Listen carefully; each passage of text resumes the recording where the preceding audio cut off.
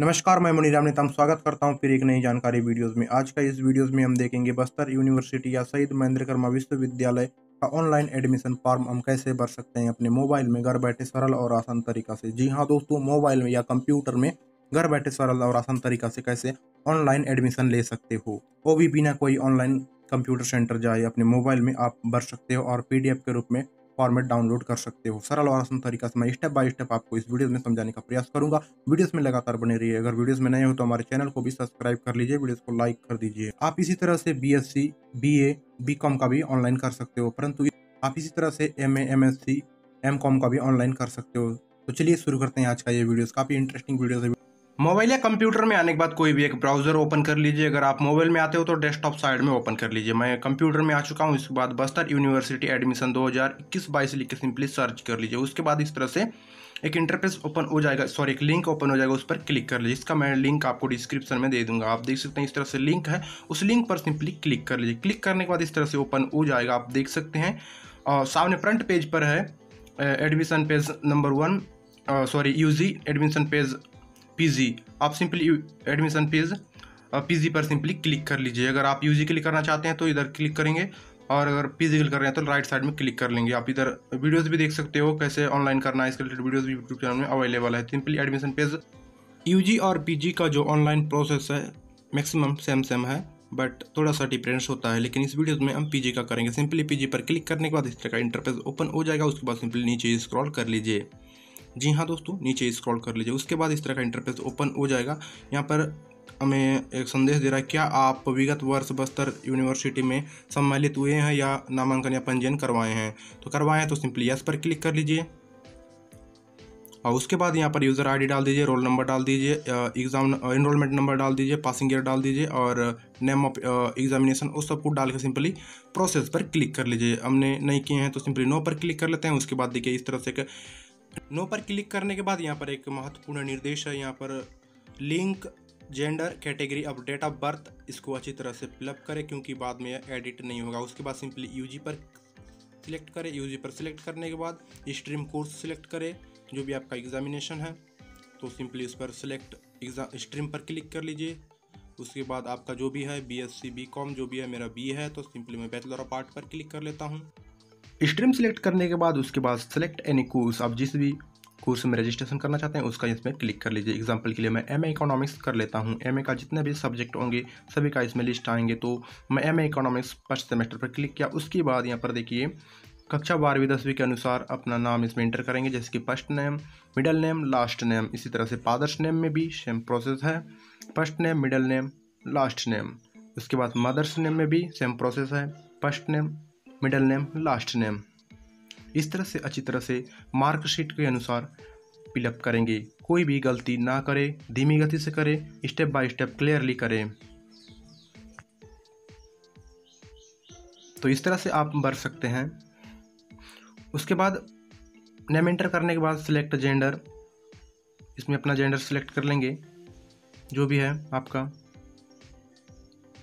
Male female या transgender जो भी इसमें सेलेक्ट कर लीजिए। उसके बाद कैटेगरी सेलेक्ट कर लीजिए।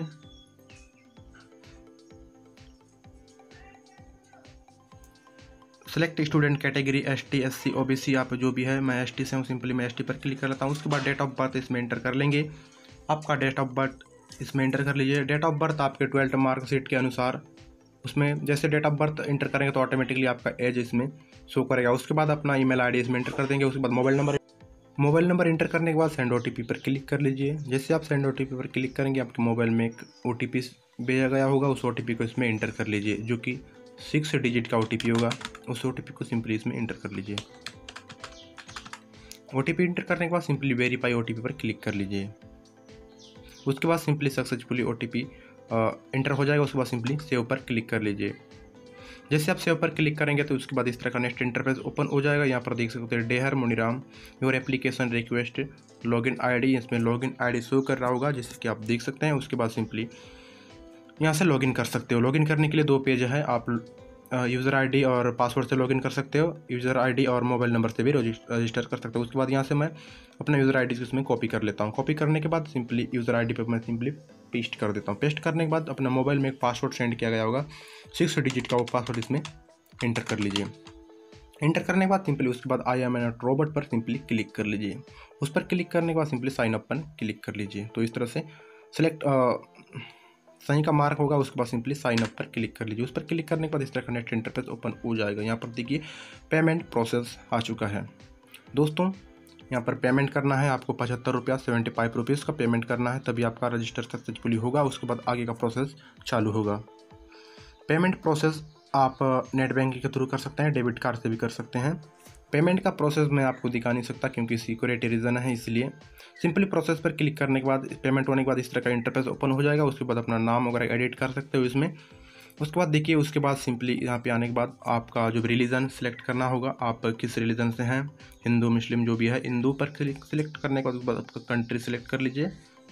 क्या आप अल्पसंख्या समुदाय से हैं? हैं तो यस पे क्लिक कीजिए, नहीं है तो नो पर क्लिक कर लीजिए। उसके बाद नागरिकता इंडिया उसके बाद स्टेट सेलेक्ट कर लीजिए, छत्तीसगढ़, उसके बाद जिला सेलेक्ट कीजिए, कोंडागांव। आपका जो भी जिला है डिस्ट्रिक्ट वो सिलेक्ट कर लीजिए। एग्ज़ाम्पल के लिए मैं कोंडागांव सेलेक्ट कर लेता हूँ। उसके बाद आवेदक क्या भूतपूर्व सैनिक हैं? है तो यस कीजिए, नो है तो नो पर क्लिक कर लीजिए। उसके बाद कई सारे इसमें इन्फॉर्मेशन है, सबको सेलेक्ट कर लीजिए। उसके बाद यहाँ पर राशन नंबर भी इंटर कर सकते हो। आप चाहे तो इंटर कर सकते हो या उसे ब्लैंक भी छोड़ सकते हो। उसके बाद नीचे स्क्रॉल करेंगे तो आवेदक का स्थायी पता। देखिए मित्रों, स्थायी पता इंटर करना अति आवश्यक है। स्थायी पता को आप क्लियरली धीरे स्टेप बाय स्टेप इंटर करें। स्थायी पता में आपका लैंडमार्क प्लेट नंबर मकान नंबर और उसके बाद post office pin code number तहसील ब्लॉक डिस्ट और पिन कोड इसमें सेलेक्ट करना है। उसके बाद पेरेंट्स मोबाइल नंबर भी दे देना है। इस तरह सेलेक्ट करने के बाद आप नीचे देखेंगे कि आपका पत्र व्यवहार पता सेम है तो सिंपली कैप्चा पर फिलअप कर लीजिए। और जो कैप्चा है, उस पर सिलेक्ट कर लीजिए। अगर आपका स्थायी पता और पत्र व्यवहार पता सही है तो सिंपली कैप्चा पर सिलेक्ट कर लीजिए, क्योंकि अगर उस पर सिलेक्ट करेंगे तो ऑटोमेटिक आ जाएगा। उसके बाद यहाँ पर एक गार्डियंस नंबर दे दीजिए, किसी का भी मोबाइल नंबर इसमें एंटर कर लीजिए, उसके बाद आधार नंबर इंटर कर लीजिए। आवेदक का आधार नंबर इसमें इंटर कर लीजिए, क्योंकि वो इंपॉर्टेंट है। उसके बाद email ID mobile number enter करके ब्लड ग्रुप भी इंटर कर सकते हो। उसके बाद सिंपली सेव पर क्लिक कर लीजिए। सेव पर क्लिक करने के बाद, उसके बाद सेव पर क्लिक करके आप सिंपली नेक्स्ट पर क्लिक कर लीजिए। जैसे आप सेव पर क्लिक करने के बाद नेक्स्ट पर क्लिक करेंगे सक्सेसफुली आपका जो भी है डॉक्यूमेंट जो वो अपडेट किया जाएगा। वो अपडेट होने के बाद यहाँ पर आपका फ़ोटो एंड सिग्नेचर अपडेट करना है। सॉरी अपलोड करना है। अपलोड करने के लिए सिंपली आप देखेंगे छूस फ़ाइल पर। क्लिक कर लेंगे। यहाँ पर आपको देखेंगे के बी और एम बी को सॉरी के बी का भी थोड़ा सा ध्यान देंगे उस के बी में उस फ़ोटो और जो भी सिग्नेचर आना चाहिए, उस पर अपलोड चूज़ फ़ाइल पर क्लिक करने के बाद आप जो भी है, वो फ़ोटो सेलेक्ट करके सिंपली इसमें अपलोड कर सकते हैं। उसके बाद सिग्नेचर में भी चूज़ फ़ाइल पर क्लिक कर लीजिए, उसके बाद उसमें भी इमेज सेलेक्ट कर लीजिए जो भी है आपका सिग्नेचर उस पर अपलोड कर दीजिए। अपलोड करने के बाद सेव पर क्लिक कर लीजिए। जैसे आप सेव पर क्लिक करेंगे, इस तरह का फिर सेकंड इंटरफेस ओपन हो जाएगा, उसमें ओके कर दीजिए, उसके बाद सिंपली नेक्स्ट पर क्लिक कर लीजिए। जैसे आप नेक्स्ट पर क्लिक करेंगे, फिर से किस तरह का इंटरफेस ओपन हो जाएगा तो देख सकते हैं। Applicant qualification examination detail twelfth का डाल सकते हैं, उसके बाद सिंपली या यूजी का डाल सकते हैं। तो मैं यूजी का डालूँगा तो सिंपली मैं इस पर क्लिक कर लेता हूँ और यूजी डिग्री पर क्लिक कर लेता हूँ। यू डिग्री पर क्लिक करने के बाद यहाँ पर स्ट्रीम सेलेक्ट कर लीजिए, जो भी आपका B A B S C मैं सिंपली बी ए पर क्लिक कर लेता हूँ। उसके बाद आपका जो कोर्स कितना साल का था? मेरा तीन साल का था, सिंपली मैं तीन साल, उसके बाद आपका बस्तर यूनिवर्सिटी, आप जो भी है आपका यूनिवर्सिटी, उसके बाद पासिंग ईयर डाल दीजिए। 2021 उसके बाद आपका रोल नंबर इंटर कर लीजिए। तो इसमें अपना रोल नंबर इंटर कर लीजिए। रोल नंबर इंटर करने के बाद इधर टोटल मार्क भी इंटर कर सकते हैं, जो कि आपका थ्री ईयर्स का जितना भी टोटल मार्क होता है, वो इंटर कर लीजिए। उसके बाद राइट साइड में देखेंगे। नेम ऑफ़ इंस्टीट्यूट वो इंटर कर लीजिए इसमें। आप जिस भी इंस्टीट्यूट में आप डिग्री प्राप्त की हैं, उस इंस्टीट्यूट का इसमें नाम लिखेंगे। एग्ज़ाम्पल के लिए मैं गोल्ड गुंडादुर कॉलेज, कुंडागांव। इस तरह से लिखने के बाद उसके बाद सब्जेक्ट फिलअप करेंगे, जो भी आपका सब्जेक्ट होगा। उसके बाद सब्जेक्ट फिलअप करने के बाद नीचे स्क्रॉल करके आप सिंपली एनरोलमेंट नंबर लिखेंगे। पास का लिखेंगे, उसके बाद सिंपली उसके बाद टोटल मार्क लिखेंगे, उसके बाद नीचे डिवीज़न में भी अपना जो भी है डिवीज़न उसको सिलेक्ट करके सिंपली ऐड टू सेव पर क्लिक कर लीजिए। ऐड टू सेव पर क्लिक करने के बाद, उसके बाद अपना जो भी है क्वालिफिकेशन वो सक्सेसफुली ऐड किया जाएगा। उसके बाद नीचे स्क्रॉल करेंगे तो आप देख सकते हैं अपना जो क्वालिफिकेशन है ऐड किया गया है। उसके बाद सिंपली नेक्स्ट पर क्लिक कर लिए नेक्स्ट पर क्लिक करने के बाद यहाँ पर फिर से क्वालिफिकेशन ऐड करना है, जो कि कक्षा दसवीं का। यहाँ पर देख सकते हैं कुछ इन्फॉर्मेशन है, आप सब्जेक्ट को शॉर्ट में भी लिख सकते हैं। उसके बाद कक्षा दसवीं का इसमें कुछ इन्फॉर्मेशन ऐड करना है। तो यहाँ पर टाइप ऑफ़ एग्जामिनेशन ट्वेल्थ या टेंथ का कर सकते हैं। तो मैं टेंथ का कर रहा हूँ तो मैं टेंट का क्लिक करने के बाद इसमें स्ट्रीम, जो कि टेंट में तो स्ट्रीम नहीं होता, सिंपली नॉन पर क्लिक कर लीजिए, उसके बाद को कितना ईयर्स का था वन ईयर्स का था, उसके बाद आपका जो भी बोर्ड है वो लिख लीजिए। मैसेज, उसके बाद पासिंग ईयर जैसे कि 2000 मेरा सोलह था, उसके बाद अपना रोल नंबर इंटर कर लीजिए, जो कि कक्षा दसवीं का रोल नंबर इसमें इंटर कर लीजिए। उसके बाद इधर, उसके बाद नेम ऑफ़ इंस्टीट्यूट जो भी नेम ऑफ़ इंस्टीट्यूट का इसमें नाम इंटर कर लेंगे, उसके बाद सब्जेक्ट इंटर कर लेंगे, नीचे शॉर्ट में लिखेंगे, जैसे कि आप देख सकते हैं, इस तरह से शॉर्ट में इसमें सब्जेक्ट को इसमें इंटर कर लीजिए। जो भी आपका सब्जेक्ट है, उसे शॉर्ट में लिख लीजिए। उसके बाद इनरोलमेंट जो कि आपके मार्कशीट में होगा, वो इनरोलमेंट इसमें इंटर कर लीजिए।